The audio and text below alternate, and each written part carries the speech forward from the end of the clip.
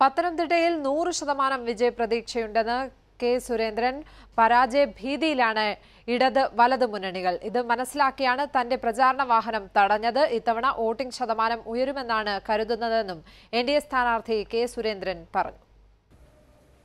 ശക്തമായ ത്രികോണ മത്സരം നടക്കുന്ന പത്തനംതിട്ടയിലെ എൻ ഡി എ സ്ഥാനാർത്ഥി കെ സുരേന്ദ്രൻ ഈ നിശബ്ദ പ്രചാരണത്തിന്റെ മണിക്കൂറുകളിലേക്ക് കടക്കുകയാണ്.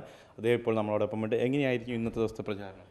ഇന്നത്തെ ദിവസം ചില സ്ഥലങ്ങളൊക്കെ ചില വ്യക്തികളെയൊക്കെ കാണാതെ വിട്ടുപോയ സ്ഥലങ്ങളുണ്ട്. അവിടെയൊക്കെ ഓടിയെത്തുക എന്നുള്ളതാണ് ഇന്ന് എല്ലാ മണ്ഡലങ്ങളിലും ഒരു ഓട്ടപ്രദക്ഷിണം എന്നതാണ് ഞാൻ ഉദ്ദേശിക്കുന്നത്. ഈ അവസാന നിമിഷം എൻ ഡി എയുടെ പ്രതീക്ഷകൾ എങ്ങനെയാണ്? നൂറ് ശതമാനം വിജയപ്രതീക്ഷയാണ് ഞങ്ങൾക്കുള്ളത്.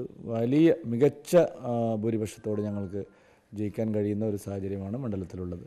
അത് മനസ്സിലാക്കിയിട്ടാണ് സി പി എമ്മും കോൺഗ്രസും വളരെ മ്ലേച്ഛമായ രീതിയിലുള്ള വ്യക്തിഹത്യയും അശ്ലീല പ്രചാരണങ്ങളും അതുപോലെ പിന്നെ ഫേക്ക് ക്യാമ്പയിനും അവർ ശക്തമാക്കിയിരിക്കുകയാണ്. ജാ ജാതിപരമായിട്ടുള്ള ആക്ഷേപങ്ങൾ അതുപോലെ തന്നെ വ്യക്തിപരമായിട്ടുള്ള അധിക്ഷേപങ്ങൾ ഒരു തെരഞ്ഞെടുപ്പിലും കണ്ടിട്ടില്ലാത്ത തരത്തിലുള്ള നീചമായിട്ടുള്ള ഒരു പ്രചരണത്തിന് അവസാന നിമിഷം യു ഡി എഫും എൽ ഡി എഫും പരിശ്രമിക്കുന്നു എന്നുള്ളത് അവരുടെ പരാജയഭീതിയിൽ നിന്ന്. മാത്രമല്ല ഇന്നലെ വലിയ തോതിലുള്ള അക്രമങ്ങൾ നടന്നു. അത് ഇപ്പോൾ ഞാൻ പോകുന്ന വഴിയിലെല്ലാം സി പി എം പ്രവർത്തകർ എന്നെ ബ്ലോക്ക് ചെയ്യുന്നതായിരുന്നു.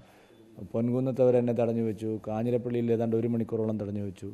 തിരുവല്ലയിൽ ഞങ്ങളുടെ പ്ര- പ്രചാരണ റാലിക്കെതിരെ ആക്രമണം ഉണ്ടായി. ഇതെല്ലാം കാണിക്കുന്നത് അവരുടെ പരാജയ ഭീതിയാണ് അവർ പരാജയപ്പെടുമെന്ന് ഉറപ്പായപ്പം നീചമായിട്ടുള്ള മാർഗങ്ങൾ സ്വീകരിക്കുകയാണ്.